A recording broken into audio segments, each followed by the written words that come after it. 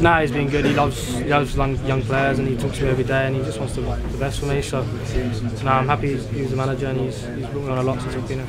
It seems preordained, Patrick, that you would, you would score against City. Did you feel that walking out? Yeah, no, I just try my best, and whenever I get the chance to score, I put it in the back of the net, which is, which is what I did, and it came very early. So, nah, it was good, and nah, it was a good game overall for, for Celtic. Yourself and Michael seemed very aggrieved at the penalty decision that didn't get. Did the referee give you any kind of explanation for that? Yeah, no, but that's that's football. I mean, if that's anywhere else, maybe it's a free kick or something. But in the penalty area, it's obviously it's very very sensitive. So, to me, it was a penalty, and but that's that's football, and yeah, sometimes decisions don't go for you. So, but that happens. You have got to get on with it. What's the main goal then for the, the rest of the season? Is it to stay unbeaten for the whole campaign?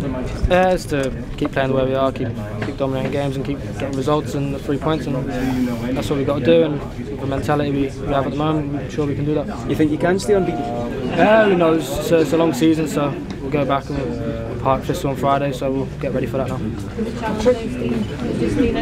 now.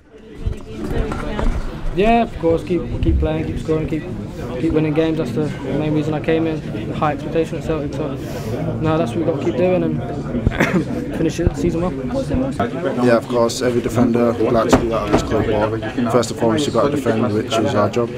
What was it like playing against Celtic then? A big crowd, they're quite a vociferous crowd as well, Celtic, aren't they? Yeah, it was a very, very good atmosphere to be fair. A lot of City fans were cheering us on, it was a great game for us.